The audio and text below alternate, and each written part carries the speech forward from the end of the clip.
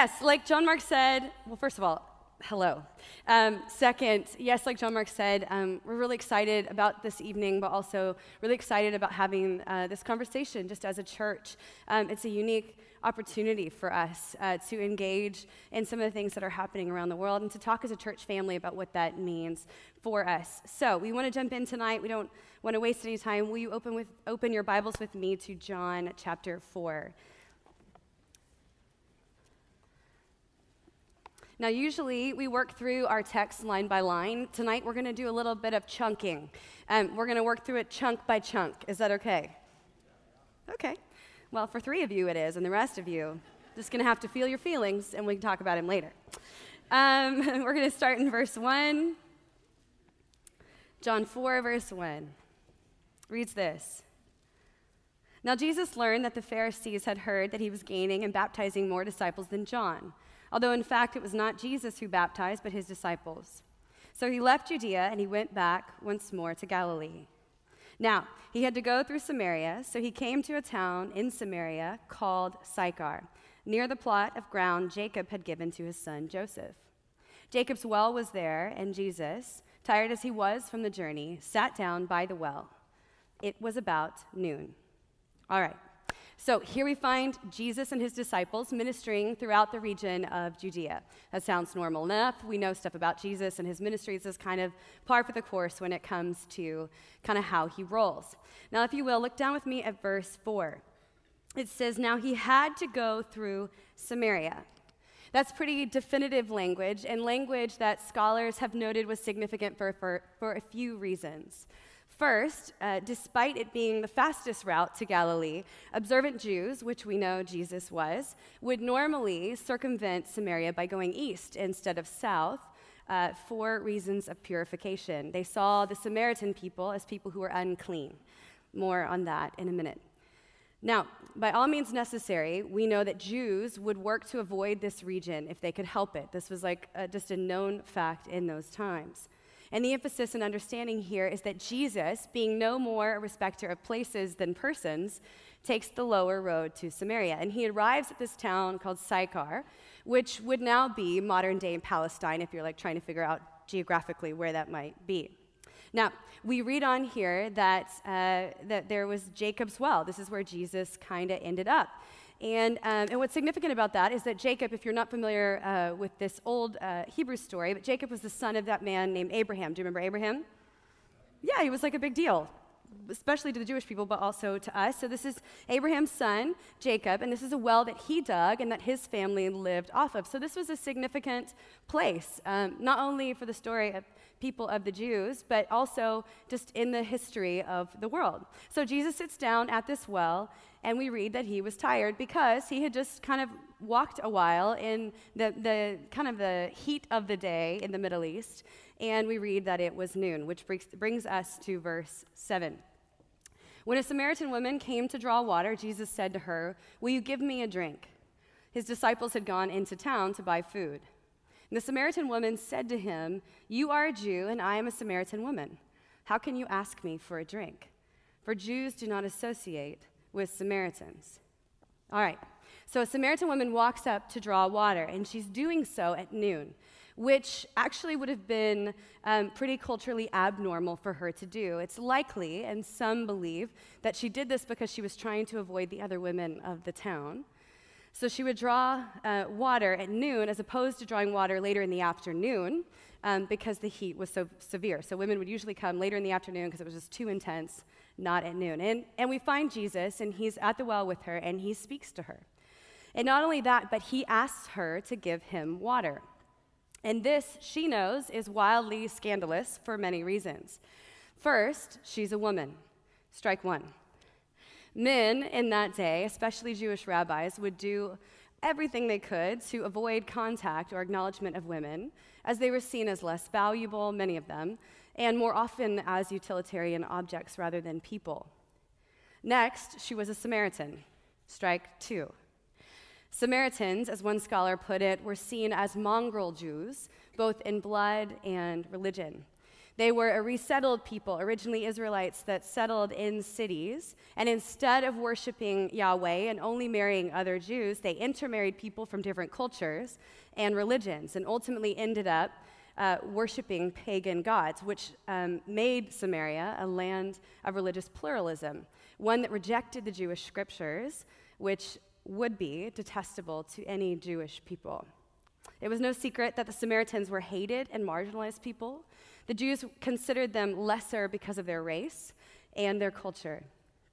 And so, as we read about Jesus chatting up a woman and a Samaritan, we can rightfully reason that he's doing much more than we can perceive, at least on the surface.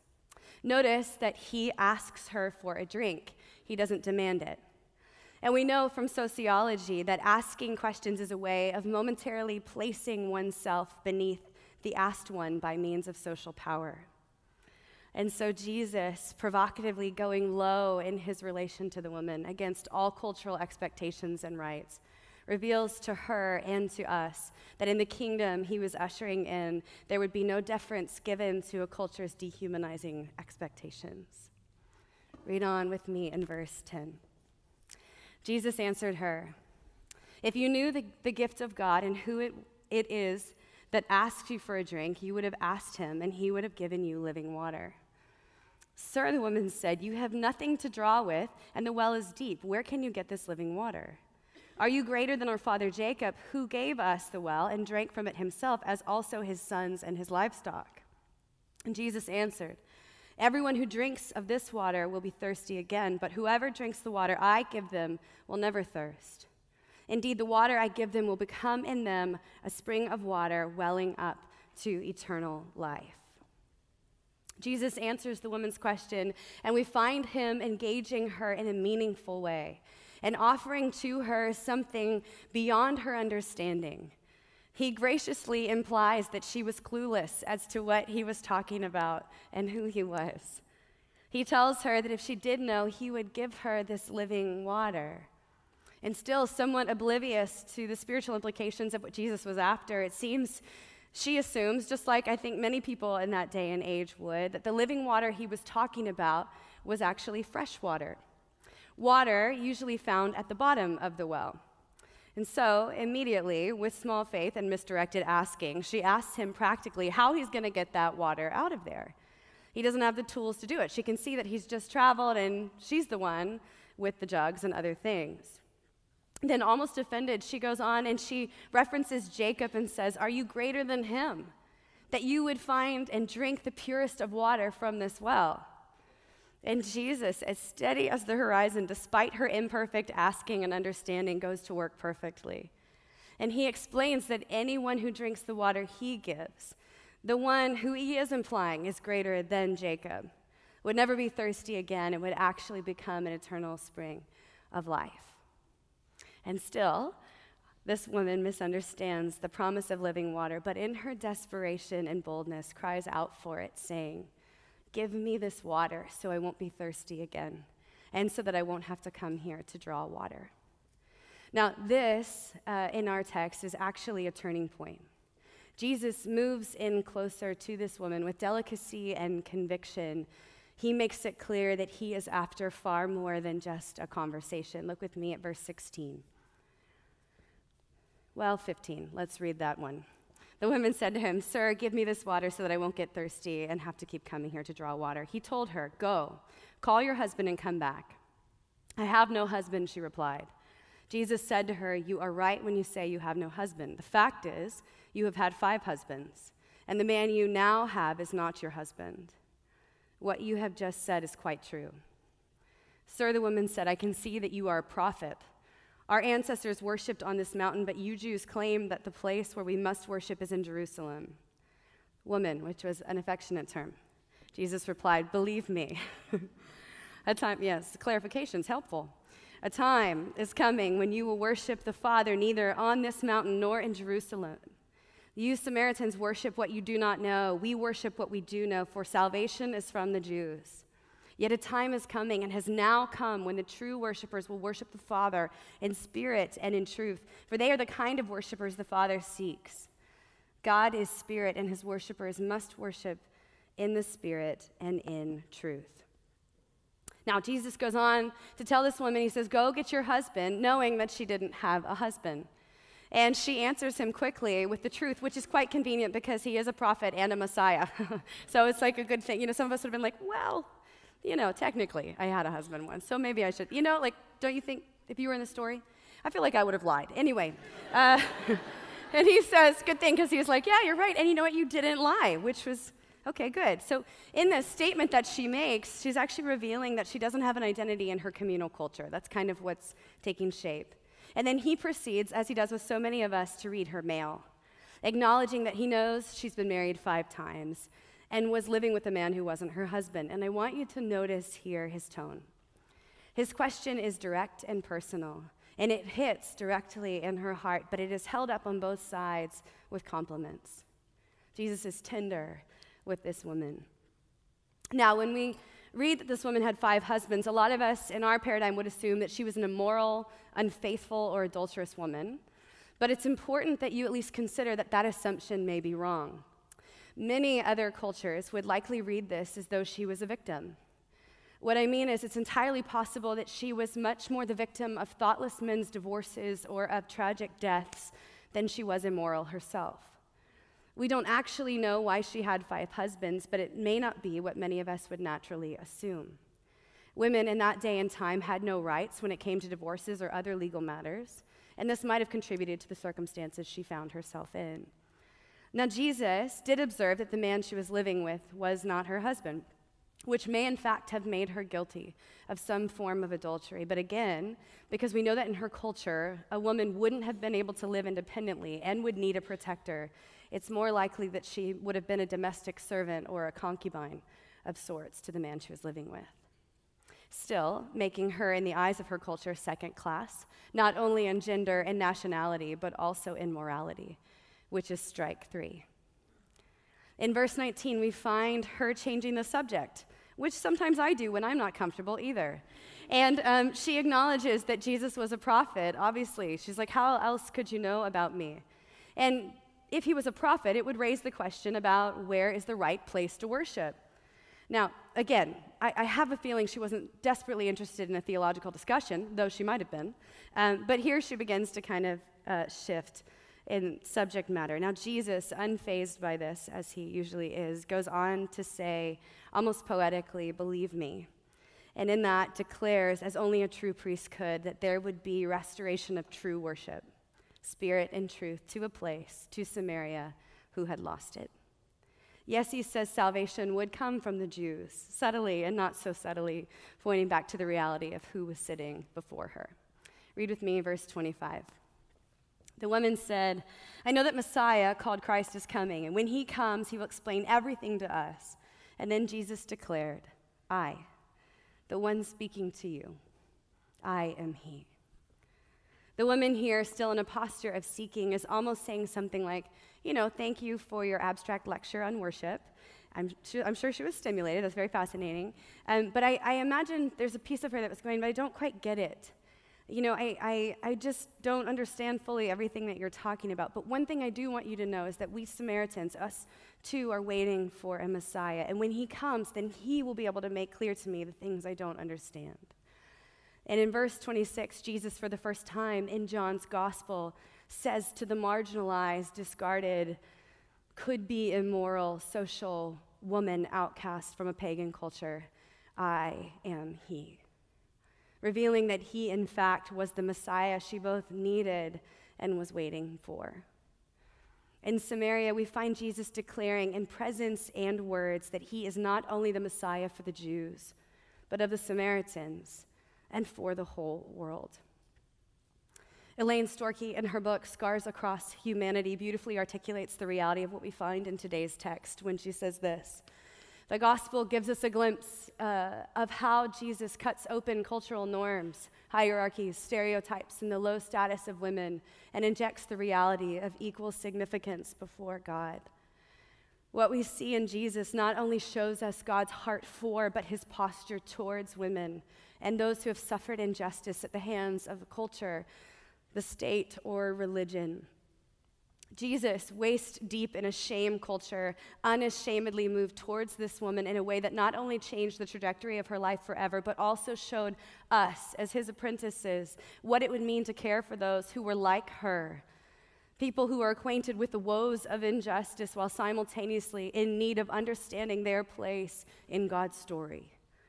Notice a few things about Jesus' response to her. First, he took her seriously, which means that he saw her and he valued her in a culture where women were objectified and discarded, in a time where the ramifications for adultery often meant death, and being with unclean people meant you too would become unclean. A Jewish rabbi not only engaged this woman, but he did so without ignoring any of her realities or limitations. He didn't diminish or placate who she was or what she had done. In fact, he takes her situation very seriously.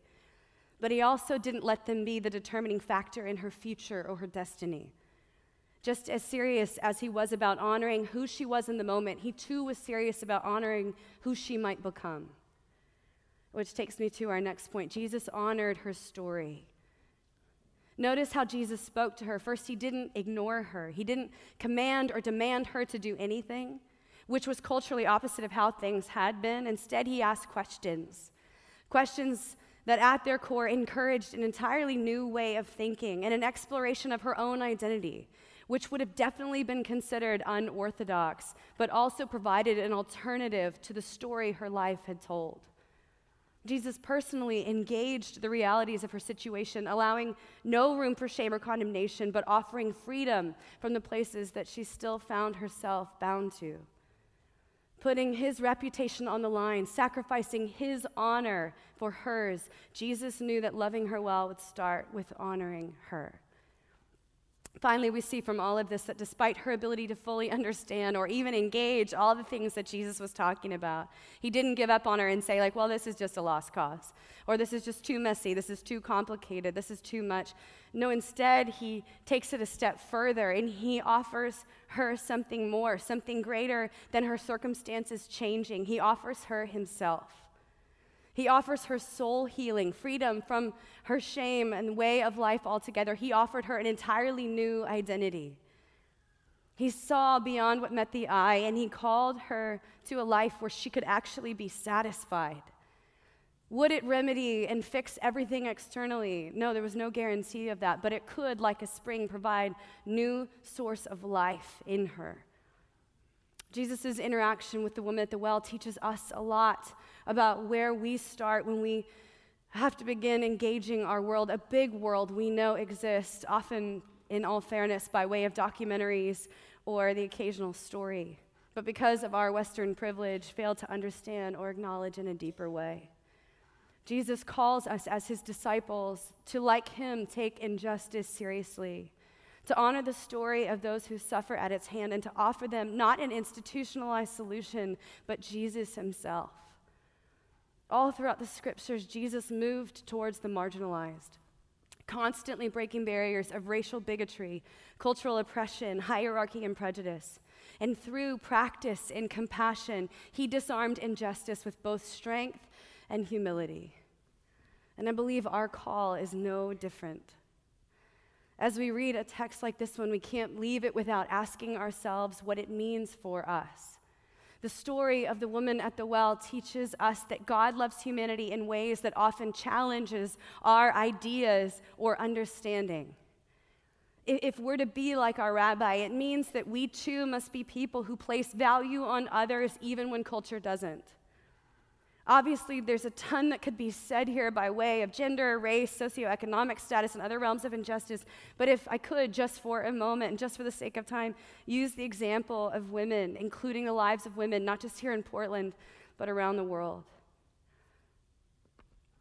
We need to be people who begin to take things seriously, like who is making our clothes and how that affects the lives of women we so easily claim to champion. It was recently reported that 71% of all garment workers are women and girls. That's about 34 million people. Clothing made around the world, mostly in developing countries, experiencing the exploitation of cheap labor and the violation of workers' rights. It means that we as Portlanders acknowledge that we have more strip clubs per capita than any other city in the US, providing a backdoor for illegal prostitution and rampant abuse.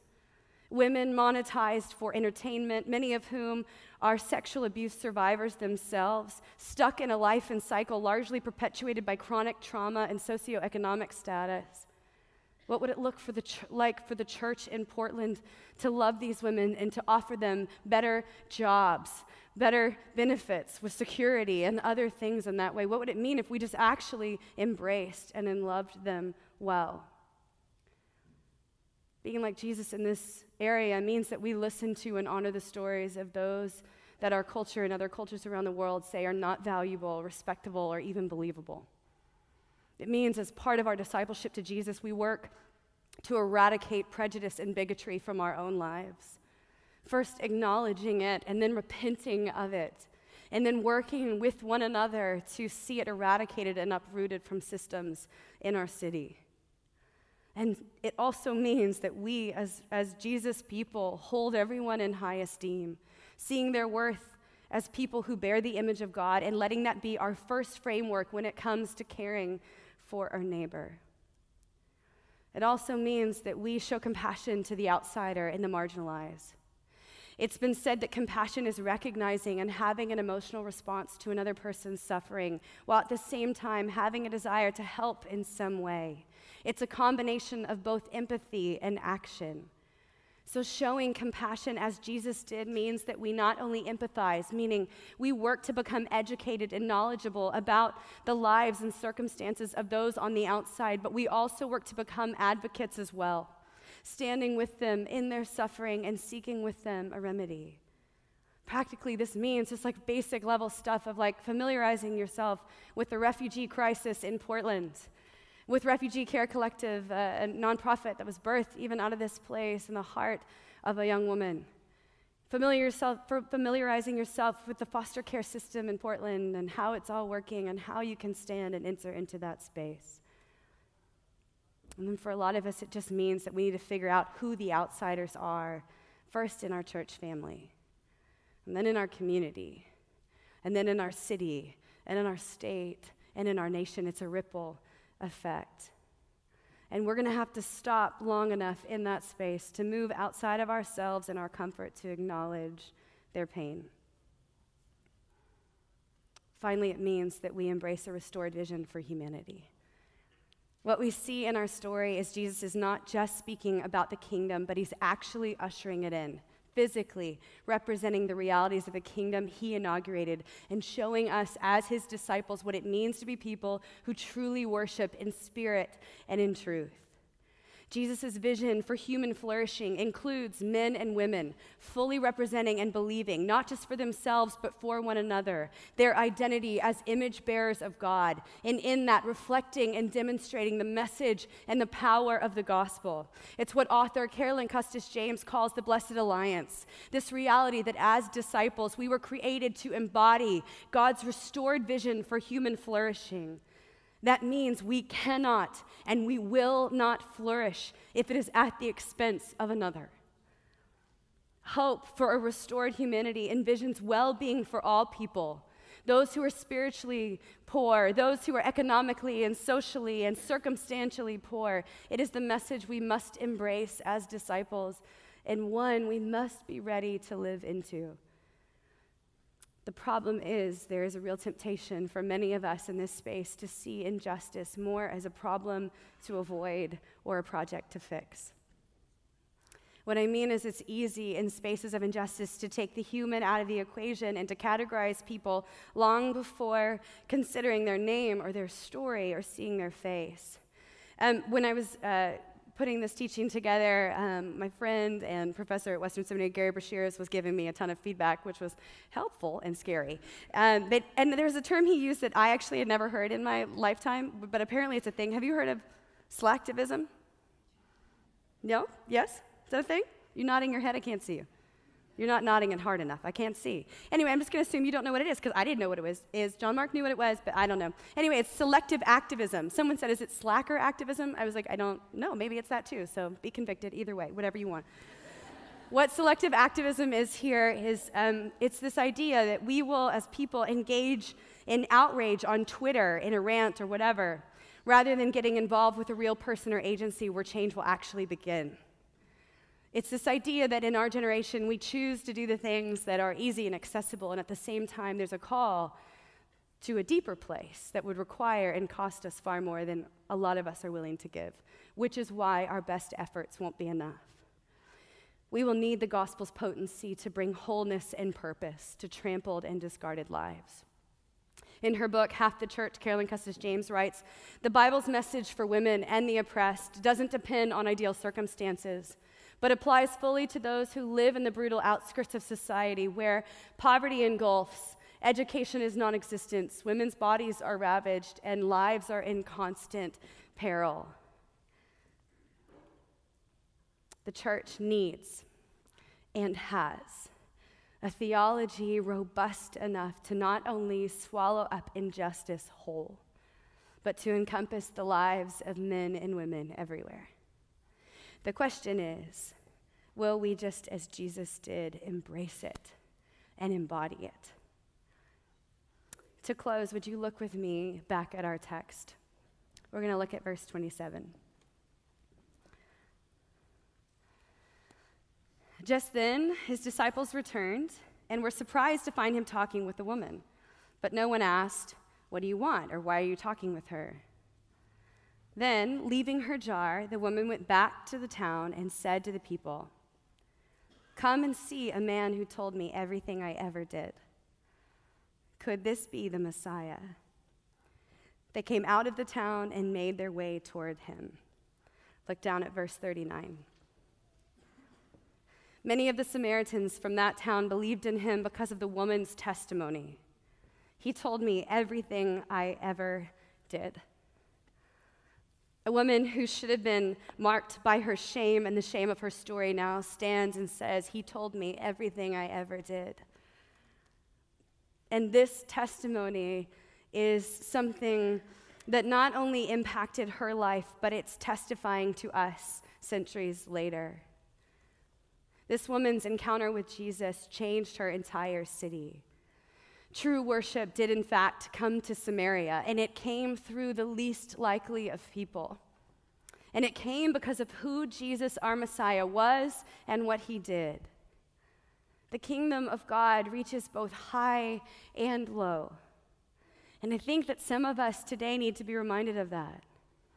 Others still need to hear that Jesus takes your life seriously and he honors the story you have, but he is inviting and always inviting you into something more.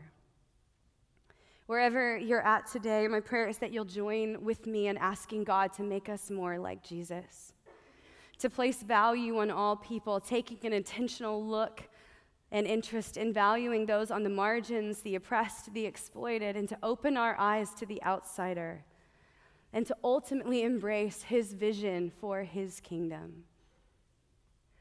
Look, this is a, a, a, complicated teaching, can be in many ways. Um, so I'm not standing up here as an expert or um, a pro at all of this stuff. In fact, I'm just like a very tiny baby in the story, trying to figure it out and wrapping my head theologically around so many of these truths that I have ignored most of my life. So, so here's what I want to say that I think for most of us today, it's probably just going to start in small ways, our response to this teaching.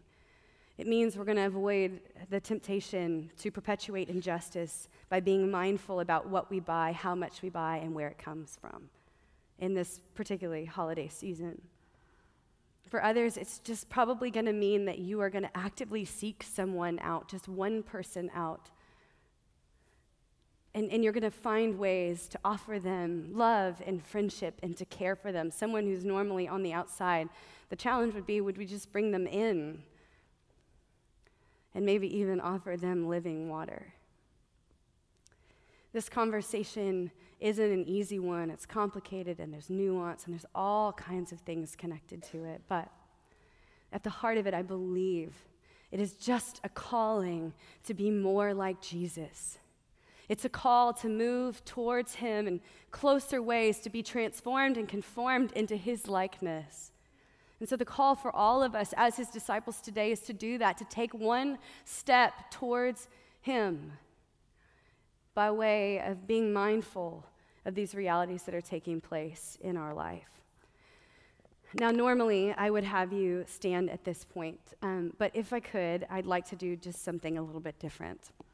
And the truth is, I can because I'm the boss up here now. I say it regularly, but it's true. So um, here's what I'd like to do. If you're a woman in this room, would you just stand up for a moment? It's going to be a lot of you. I learned that this morning.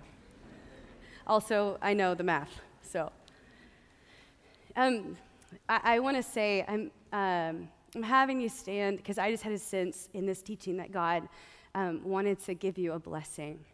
And so I'd like to do that just as your sister and your friend um, in this room. And brothers, this is not, please hear me, not even remotely, never will be taught or spoken about at the expense of you.